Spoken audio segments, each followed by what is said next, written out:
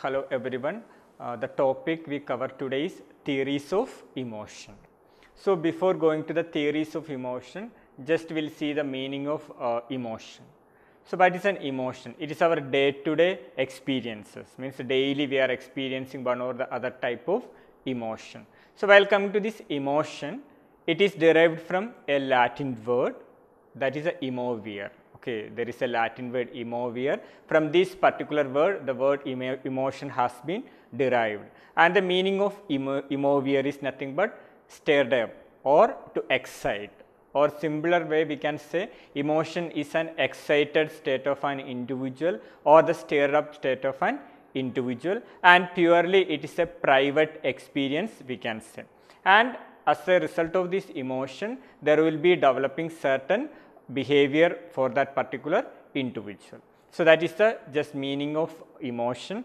Now we'll see the definition of emotion. So while coming to the uh, definition, the emotion which is defined as a subjective response that is usually accompanied by physiological changes and associated with the changes in behavior. So the definition detail we will see now. So it is a subjective response. Subjective response in the sense it is happening inside the individual itself. That's why we say it is a subjective response and usually it is accompanied by physiological changes. So what happens? There is a situation. So assess uh, situation that produce the emotion. According to that situation, suppose if there is a dog is coming to you or you are seeing a snake. So certain physiological changes will happening in our body like our heart heartbeat will be increasing, our respiratory rate will be increasing or we will be producing with a sweating. So certain changes may be happening. So we termed as a physiological responses or physiological changes and as a result of this one certain behavior will be there. That means sometimes we may be developing with a fear or we may be happy or we may be angry. So these are the certain behaviors which is produced as a result of this particular emotion. So that is the definition of emotion. And broadly if you say there are two types of emotion, there is a positive type of emotion and there is a negative type of emotion. So if you say the positive type of emotion, we can say it is a pleasant type of emotion and usually it is beneficial for the individual.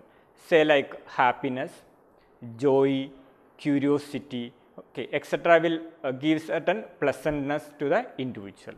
And there is a second type of in, uh, emotion we can say negative emotion. So these are the unpleasant emotional experiences we can say and it does not produce any beneficial effect for the individual. Say like angry, fear, a negative feeling. So all these things are the uh, negative emotions we can say.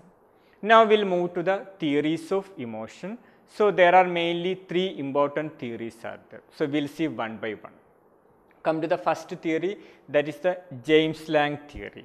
So coming to the James Lange theory, this particular theory which is proposed by two psychologists William James and Carl Lange. Okay, the two persons they have given this particular theory.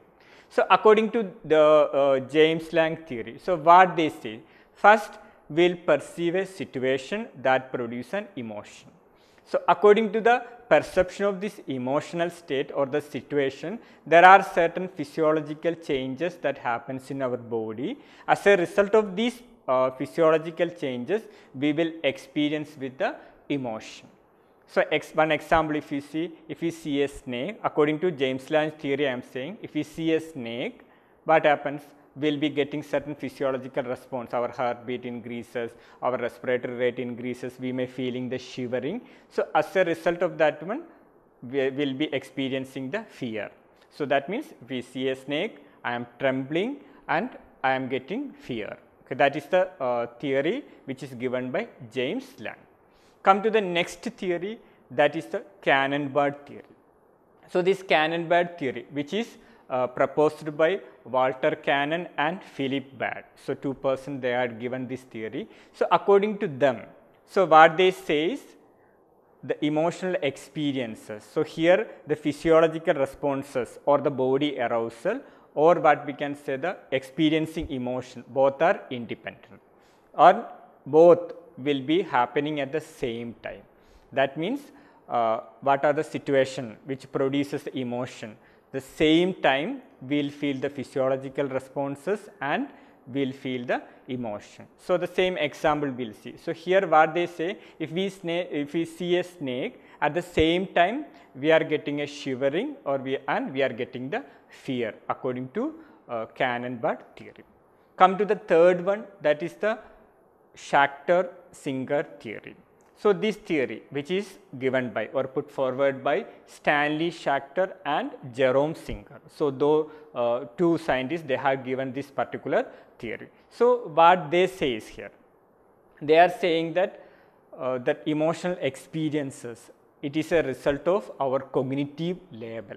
The cognitive level is nothing but the cognitive appraisal or the emotional situation there will be an appraisal or examination will be happening in our brain. So, as a result of the cognitive arousal or the cognitive appraisal or we can say the cognitive label. So, okay, as a result of cognitive label and physiological changes or body arousal will experience the emotion. So, that is the concept which is given by Schachter and Singer theory. So, there are three important theories in the uh, emotion. First one is James Lange theory, second one is Cannon-Bard theory and the third one is Schachter-Singer theory. So, today we have seen regarding the emotion, what are the types of emotion and theories of emotion. So, that is all for today's class. Uh, this is Vishant signing off till we meet the next class.